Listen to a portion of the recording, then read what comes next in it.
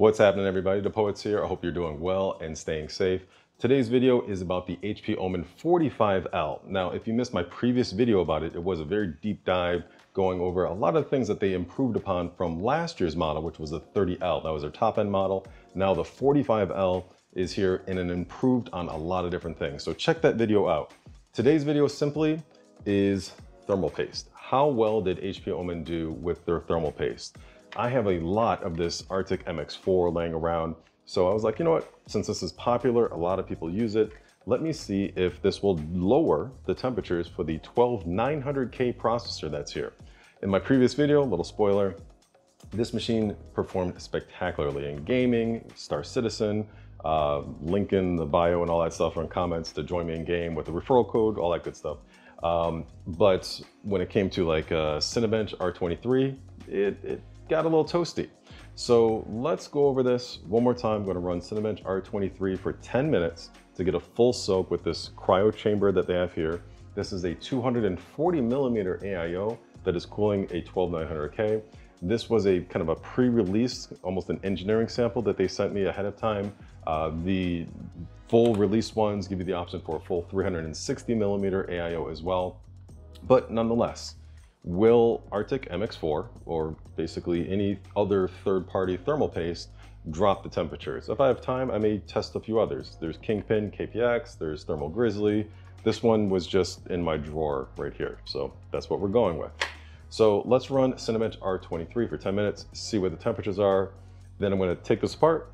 It's very easy. I'm gonna show you because basically it's a push button here, push button here in the back, and that's one thing that HP Omen did very well. It's easy to modify this system, which is great. So we're gonna take advantage of that. Let's load up Cinebench R23 and see how this goes. All right, now we're just going to put the side panel back on for a realistic test. Simple as that.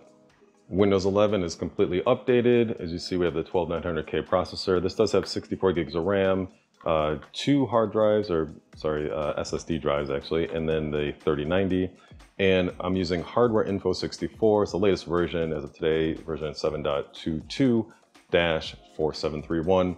The Core Max and CPU package is basically what I'm going to be monitoring here, as well as if there's any thermal throttling here as well.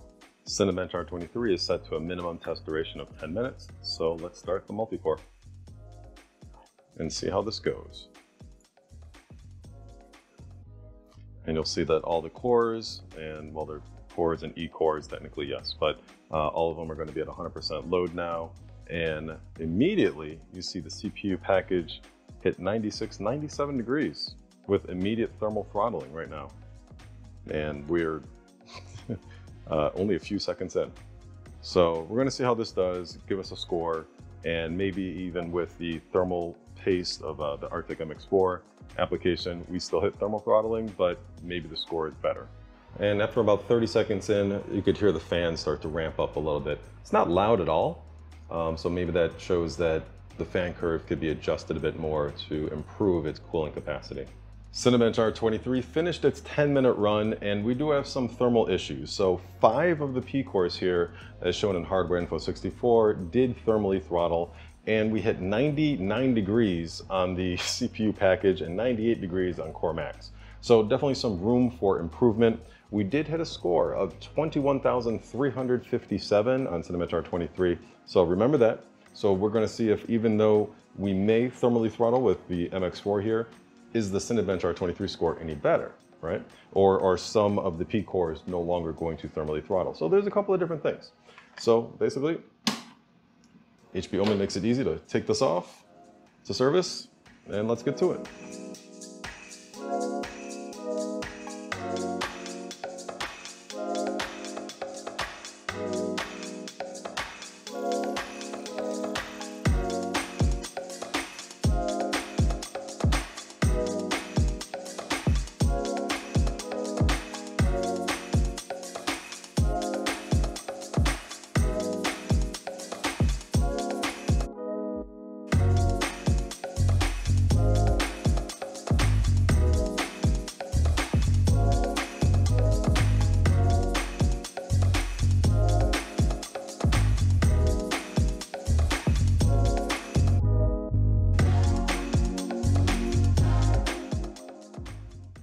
All right, let's see if this turns on and boots up. That's a good sign.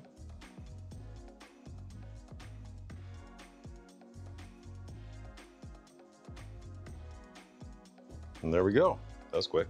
So the results are in. After 10 minutes of Cinebench R23 running with the Arctic MX4 thermal paste, we have some interesting numbers. Not all that interesting actually. We dropped one degree Celsius, so statistically that's meaningless. So we maxed out at 98 degrees. Some of the P cores did thermally throttle, and we did go up about 100 points on Cinebench R23 to 21,458, I believe it was. Yes, it is. So again, statistically meaningless when it comes to when you're at 21,000s, 300s and stuff. So what that means is one, we should do more testing. We could do that. Two, HP Omen actually used some decent thermal paste and it was applied correctly. So even though I like hand applied it and used the actual spatula to make sure every area was covered on the 12900K, that the results were basically the same. Uh, the noise levels were definitely in check with this cryo chamber. And because the heat is all coming out like this and is bringing cold air, well, this is LA, but cold air from the room into here and then blowing up through the AIO, which is then cooling the 12900K, it keeps helps to keep the, the GPU nice and cool and vice versa. So all the hot air that that GPU will be producing when you're gaming or video editing, uh, it's not affecting the 12900K either.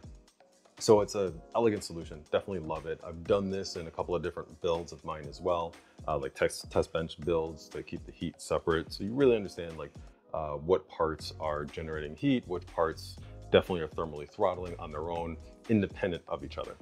So overall, good job, HP Omen. Uh, and with that, I'll call it done. Uh, so hit that like button if you liked it, sub if you loved it, I sound like Dave2D now, but hey, whatever. That sounds good. And uh, I'll see you guys in the next one. Peace.